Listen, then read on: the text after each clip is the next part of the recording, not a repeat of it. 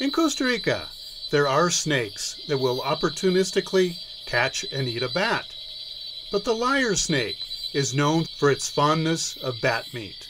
This snake reaches 1.8 meters in length, and while terrestrial, it is an adept climber.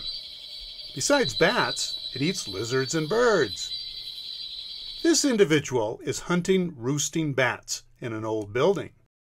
Both the lyre snake and this gray sacked-wing bat are found mostly in the northwest part of Costa Rica.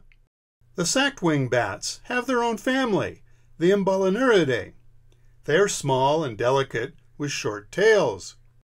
Gray sacked-wing bats can be common in the dry forest of Guanacaste, but also can be found as far south as Quepos.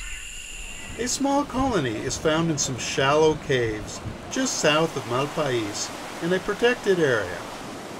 Sea caves are important roosts for many species of bats and should not be entered routinely in order to not disturb the bat colony.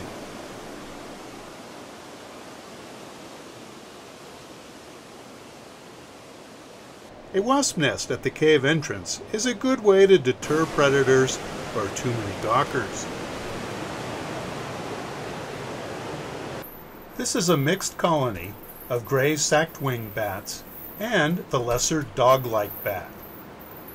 To distinguish them, the gray sacked wing bat is gray, and the lesser dog-like bat is a more reddish color. Roost size varies, but can reach 200 individuals. Notice the spacing between the bats, which is referred to as 1 that width apart. Here the reddish lesser dogface bat is distinguished from the gray sacked-wing bat. Studies have shown that these bats defend their feeding territories, but it's also been shown they move in large groups from one feeding area to another. Fino has decided to show you the wing sacs and just how gray they really are. It takes great skill to catch a bat without hurting it. There he is. I'm sweaty. the wing sacs are full of all sorts of bodily fluids and are used as scent marking organs. With sacked wing bats, it's not only about how you sound and how you look, but how gross you smell.